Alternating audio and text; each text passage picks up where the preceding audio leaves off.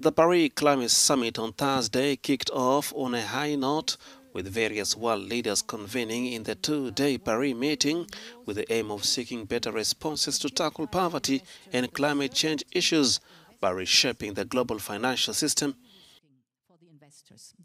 We've had to say this should be a just transition. It must uh, take into account the existential situation of uh, various communities. What happens to them when we transit to their job situations, uh, communities who live in those areas.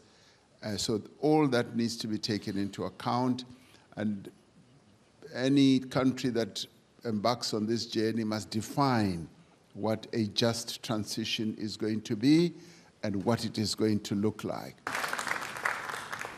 The Ugandan climate activist Vanessa Nakate faced an audience packed with world leaders and finance officials on Thursday, silenced the room and made everyone listen to some uncomfortable facts.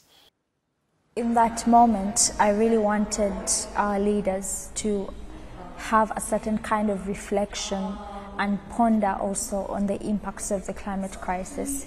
It is one thing for us to talk about statistics, to talk about numbers, but it's not statistics that are starving in the Horn of Africa. It is people, children, women.